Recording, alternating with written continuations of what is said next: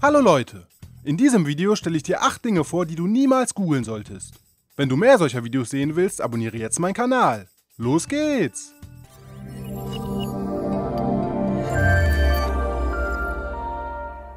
Nummer 1. Wie baue ich eine Bombe? Ich glaube, es sollte ziemlich klar sein, aus welchem Grund man nicht nach so einem Satz googeln sollte. Wenn du es wirklich ernst meinst und anderen Leuten schaden möchtest, dann solltest du einen Psychiater aufsuchen. Denn das ist kein gesunder Gedanke. Doch die meisten Menschen, die so etwas googeln, sind einfach neugierig und fragen sich, wie Leute es schaffen, sich zu Hause eine Bombe zu bauen. Wenn du auch zu diesen neugierigen Personen gehörst, dann vergiss es lieber ganz schnell wieder. Denn du kannst dir nahezu zu 100% sicher sein, dass die Regierung ab diesem Tag deine Internetaktivitäten überwachen wird. Als harmloser Bürger, der einfach nur einen kurzen Moment neugierig war, möchtest du doch sicher nicht auf der schwarzen Liste für bedrohliche Personen landen, oder? Nummer 2. Bettwanzen. Bettwanzen sind kleine Tierchen, die sich in deinem Bett einnisten, dich nachts beißen und dein Blut trinken. Wenn deine Haut jetzt schon langsam anfängt zu kribbeln, dann weißt du genau, warum du nicht nach diesen kleinen Tierchen googeln solltest. Am besten du weißt so wenig wie möglich über sie. Denn wenn du dich einmal ausgiebig über Bettwanzen informiert hast und Bilder von betroffenen Bettwanzenopfern siehst, dann wirst du in der Nacht kein Auge mehr zudrücken können. Nummer 3. Offizielle Täterbeschreibungen. Wenn die Polizei nach Tätern sucht, um große Verbrechen aufzuklären, erstellen sie dafür eine offizielle Täterbeschreibung mit sehr detaillierten Informationen zum Tathergang. Diese Informationen sind online für jeden einsehbar. Das Problem bei der Sache, kaum jemand schaut sich in seiner Freizeit gerne Täterprofile an. Doch eine Person tut das besonders gerne, nämlich der Täter selbst. Auf diese Art und Weise möchte er herausfinden, was die Polizei gegen ihn in der Hand hat. Doch die Polizei ist schlau genug, das zu wissen und überwacht diese Seiten. Jeder, der diese Seiten besucht, wird von der Polizei genau unter die Lupe genommen. Und das ist auch gar nicht mal so verkehrt, denn in der Vergangenheit wurden so etliche neugierige Täter überführt. Wenn du keine Straftat begangen hast, gibt es für dich keinen Grund, eine solche Seite zu besuchen und damit unberechtigt ins Visier der Fahnder zu gelangen. Wenn du der Polizei bei Fahndungen weiterhelfen willst, ohne dich verdächtig zu machen, kannst du beispielsweise den örtlichen Twitter- oder Facebook-Account deiner Polizeiwache folgen. Und natürlich schadet es auch nicht, sich regelmäßig Nachrichten anzuschauen. Nummer 4. Raucherlunge. Nach einer Raucherlunge solltest du nur googeln, wenn du eine Motivation brauchst, um mit dem Rauchen aufzuhören. Oder eine Abschreckung, damit zu beginnen. Ansonsten tu es lieber nicht.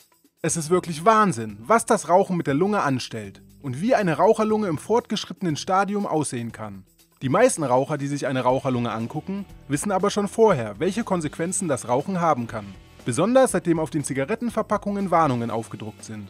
Aufhören zu rauchen werden die wenigsten auch mit der Raucherlunge im Hinterkopf.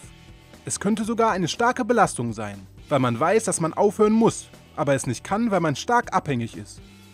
Nummer 5. Dinge, die Menschen im Fastfood gefunden haben. Wir wissen alle, dass die Gerichte der meisten Fastfood-Restaurants ungesund und nicht zur täglichen Ernährung geeignet sind. Oft enthalten sie viel zu viel Fett, in Kombination mit vielen Kohlenhydraten und wenigen Vitaminen. Doch trotzdem hat sich jeder schon einmal in seinem Leben etwas in einer Fastfood-Kette gegönnt da spricht ja auch gar nichts dagegen. Schließlich sollte jeder sein Leben genießen und sich nicht zu 100%, sondern vielleicht nur zu 95 oder 90% verbieten. Doch wenn du den Satz Dinge, die Menschen im Fastfood gefunden haben, googelst, wirst du wahrscheinlich für eine lange Zeit einen großen Bogen um Fastfood-Restaurants machen. Denn du wirst gleich mehrere Berichte und Videos mit den verrücktesten und ekligsten Dingen sehen, die Menschen im Fastfood gefunden haben. Ein Haar zwischen einen Hamburger ist da noch das harmloseste, was Menschen gefunden haben.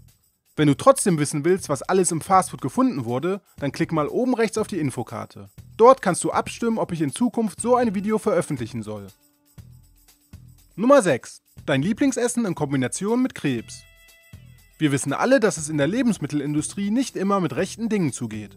Aber einem Lebensmittel eine krebsfördernde Wirkung nachzuweisen, ist schon eine harte Anschuldigung. Trotzdem findet man immer wieder Artikel über Nahrungsmittel, die angeblich Krebs verursachen sollen. Manchmal hat man das Gefühl, man darf gar nichts mehr essen. Wenn du jetzt nach deinem Lieblingsgericht in Kombination mit Krebs suchst, findest du bestimmt einige Artikel darüber, dass man dieses Lebensmittel vermeiden soll, weil es Krebs auslösen kann. Damit nimmst du dir aber selber ein Stück Lebensfreude und Genuss, denn oftmals sind es Mythen, die schon lange als falsch bestätigt wurden, oder Behauptungen, für die es keine wissenschaftliche Grundlage gibt. Solange du dich nur sehr selten von Lebensmitteln ernährst, die als Fastfood bekannt sind, bist du auf der sicheren Seite. Nummer 7. Allgemeine medizinische Symptome. Bestimmt kennst du diese Situation. Du hast hin und wieder Kopfschmerzen und gehst ins Internet, um der Sache auf den Grund zu gehen. Du liest dich durch mehrere Internetseiten und kriegst ein immer mulmigeres Gefühl. Nun hast du fertig gelesen und bist davon überzeugt, an einer schlimmen Krankheit zu leiden, weil viele Symptome auf deine Beschwerden zutreffen. Und genau darum solltest du nicht nach oberflächlichen Symptomen im Internet suchen. Dinge wie Kopfschmerzen oder Bauchschmerzen sind Symptome für tausend verschiedene Krankheiten. Wenn du nach der möglichen Ursache googelst, machst du dich nur selber verrückt. Und im Endeffekt fühlst du dich noch schlechter als vorher.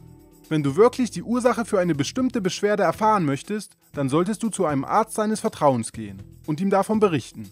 Er kann dir mit großer Sicherheit viel nützlichere Informationen geben als das Internet. Nummer 8. Bin ich zu dick? Viele Menschen sind unzufrieden mit ihrem Körpergewicht und fragen sich dann, ob sie zu viel auf den Rippen haben. Diese Frage würde ich aber niemals googeln, denn es verbergen sich einige Gefahren dahinter. Zum einen kann dir das natürlich niemand sagen, ohne dass er auch dein Alter und deine Größe kennt. Aber selbst dann kann man es nur grob abschätzen. Es kann sein, dass du völlig normalgewichtig bist, aber dich dann durch das Internet verrückt machen lässt. Und die zweite Gefahr, die in den letzten Jahren immer größer geworden ist, sind sogenannte Pro-Anna-Gruppen. Man kann ihnen kinderleicht beitreten, sie sind aber brandgefährlich. Denn dort treffen sich abnehmwillige und magersüchtige Menschen, um sich gegenseitig zu motivieren, den ganzen Tag lang nichts zu essen. Einmal in so eine Gruppe reingerutscht, ist der Weg zur Magersucht nicht mehr weit. Das waren 8 Dinge, die du niemals googeln solltest. Wie sieht's bei dir aus? Bist du eher auf Google unterwegs oder auf YouTube, um nach Lösungen zu deinem Problem zu suchen? Schreib's mir jetzt in die Kommentare. Wenn dir das Video gefallen hat und du mich unterstützen möchtest, dann teile es mit deinen Freunden. Und wenn du noch mehr solcher Videos sehen willst, dann abonniere jetzt meinen Kanal. Wir sehen uns im nächsten Video.